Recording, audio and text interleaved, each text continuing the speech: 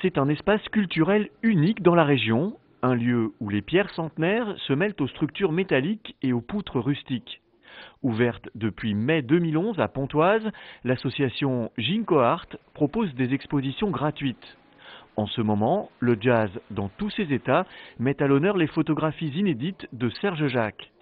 Une bibliothèque de 1200 ouvrages dédiés à la sculpture et à la peinture est également accessible gratuitement. Un dernier espace scientifique, celui-là, permet aux visiteurs de bénéficier d'une expertise. L'idée, c'est que les gens puissent venir avec un tableau, une photographie, un dessin, une aquarelle, et avoir des renseignements sur la conservation de leur œuvre d'art, éventuellement pouvoir avoir des mises en conformité, c'est-à-dire de savoir qui a fait la photo, qui a peint le tableau, ou de qui est cette aquarelle, et ça, l'espace Jinkoar y répondra.